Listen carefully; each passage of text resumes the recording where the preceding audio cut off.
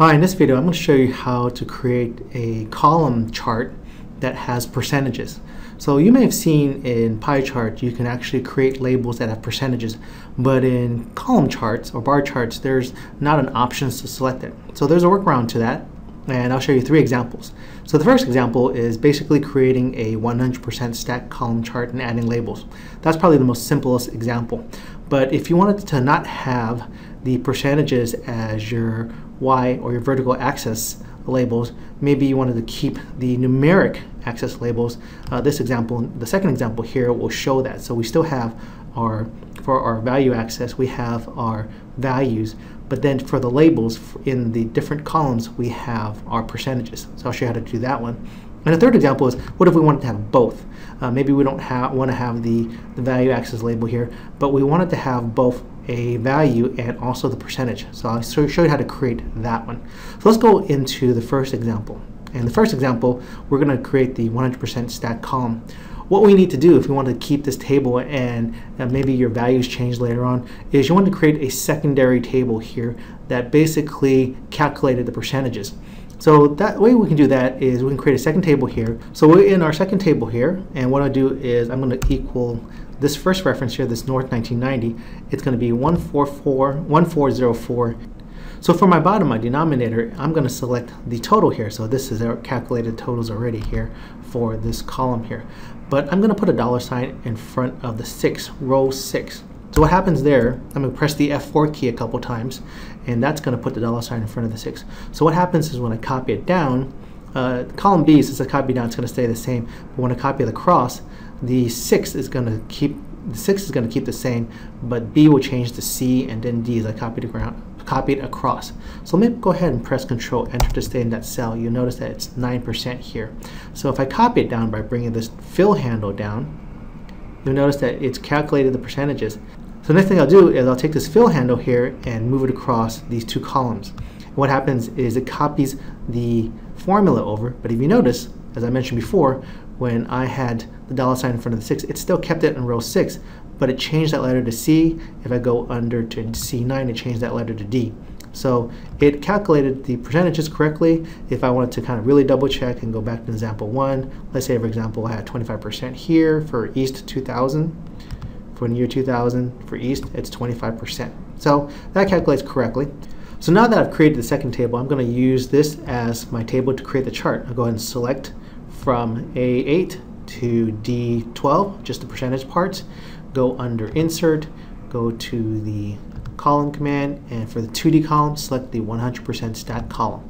So this gives me the stack column. All I need to do now is right click each of these uh, series and go add data labels that gives you the data labels for 2010.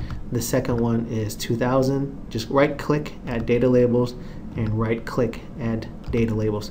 So this gives me the 100% stacked column. So I have the percentages within my column. Now if I wanted to not have these percentages for my uh, value axis, I wanted to have the value instead, let me go ahead and show you how that's done. That's in demo 2 right here. So if we wanted to create uh, the exact same chart but not have that value axis be percentage and just have it as the values itself, we're going to have to use this table as the link to that chart. But we also still need to have this table to give us our percentages. So earlier I showed you how to create the percentages by going into each cell and using the denominator, having that divided by the total and just copying it down and copying over. Another way you can do it is select the first cell where the formula is going to appear and just kind of select this whole thing and then type up the formula that equals and it's going to be this value divided by this value and I'll put a dollar sign in front of the, the 6 here. So if I select there and just press F4 a couple times, or twice actually, just make sure I have the dollar sign, dollar sign in front of the 6. And instead of pressing enter, I'm going to press control enter and that basically calculates it out for the whole range that we selected. So we have our 25% here, remember from last time. So that's an easy way to do it, that's a shortcut. And so Excel's pretty smart enough to figure out when you make that selection, that formula is going to apply for that whole selection. So that's just a shortcut for that. So let's see how we go ahead and create this table. Now as I mentioned before, to create the table and we wanted to have those values, we need to use this table. So I'm going to select this table here, this range for this table, go under Insert, and under column, I'll go ahead and select the stack column because I don't want 100%. I want the stack column where I would have the values up here. I don't want it to be all up here in the same, I don't want, I don't want it to have, have the same height. So I want it to kind of vary because of my values here. So same as the other chart, I don't want to have my regions at the category axis. I want to switch them around. So I'm in the design tab of the chart tools contextual menu. Go ahead and click on the switch row and column command so I can have my years at the bottom here.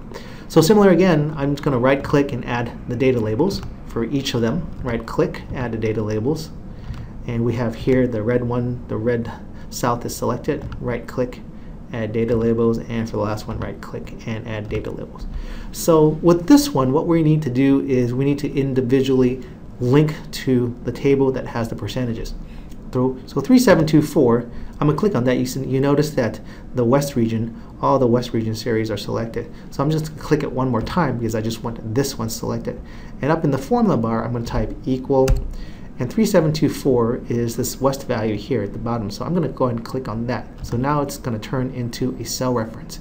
So it's re referencing cell B12 here. So if I press enter, you'll notice now that's 25%. So I can do the same thing for the other ones. I can select this one, and then you see that it's the only one selected. Go up here and then type equal. 4819 is 32%. Type return, and then go to this one over here. This one's selected. Type equal.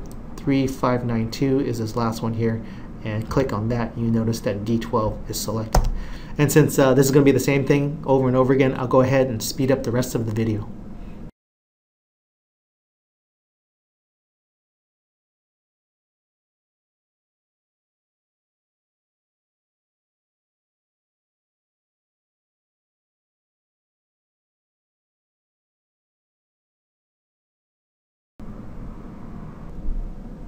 So you notice that it was a pretty manual uh, process that we had to go through. Now this would work well if you didn't have that many values, that many columns to put this in, but if you had a lot, of course, this would take a lot of time.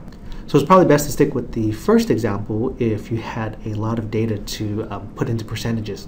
So let's go into the third example where if we wanted to also to have the values and the percentages in our chart. So in this example, what we need to do is we need to have this value and also the percentage. So what I need to do is create a formula. So the formula is going to equal this reference. In addition to that, I want to append it to a formula that calculates the percentage. And to do that, I can use the ampersand. So the ampersand will append uh, values together. So I'm going to go ahead and append a comma, space, and then another comma, and then the ampersand to add it again. And this is where I'm going to put my formula. This divided by the total here. And of course the total here, I'm going to have it as a uh, mixed cell reference, having the dollar sign in front of the 6. And press enter. And you notice that it, it really gave me the percentage, but look, it gave it as a decimal. So we need to change that. And so to change that, what I'm going to do is I'm going to put something in there called a text function. So what the text function does is it takes that decimal and it puts it into a format that is going to be percentage. So the format text I'm going to use is going to be in quotes. It's going to be in quotes, the pound sign, or the octothorpe, as that's called, and more technically, the pound sign, and then the percentage sign, and close that within quotes. So what happens is the pound sign represents that represents that there has to be at least one number that's going to be in there that's going to show up there and the percentage sign is the percentage sign that that sign will show up after that number. So I'm going to close the parentheses press enter. Whoops.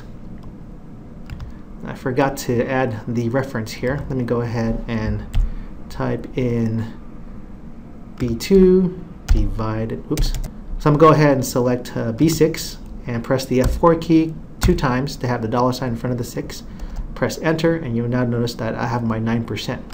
So I'm going to go ahead and uh, double click and it'll copy it over here. It'll copy it down and I'm going to select the fill handle and bring it over here and it'll copy it across. So now you see that I have my values here. So what I'm going to do now is you know, I'm, this is going to take a while. This the exact same thing that I do for column C and D, I can just do for column B. So I'm just going to show you the example and select column A to B and create the stacked uh, column that way. So I'll go ahead and click insert and go to column and I'm going to select the stack column here. And again I'm going to go ahead and switch the data around so I have it all in one column. Right click to add data label and right click add data label right click add data label and then right click here and add the data label here. So the same as I've done in demo 2 what I'm going to do is I'm going to select that type the equal sign. Whoops go up here to the formula bar Oops, select that again. Let me see. Go into formula, type equal, and I'm going to select this value. Right? And so now it's going to give me that particular combination of the value and the percentage. So I'm going to do the same here for this one. Select that, go into the formula bar, type equal, and then hit that key, hit that cell, and go ahead and click this, and go into the formula bar. Whoops, select it again. Type in, go into the formula bar, equals, and then the 3965, 26% and the same for this 1440 oops. I'll go ahead click on there and then type equal and then the 144 over there. So that's going to give my value and a percentage. So if I didn't want to have this particular axis I can just click on that and press delete and it's gone I can click on the vertical lines here and press delete and that's gone and if I had the other two columns they would show right next to it and so I would have my years down here and then I would have my values and the percentage of the total. So those are the three ways that we can create a column bar that shows percentages. So I hope this helps. Thanks for watching.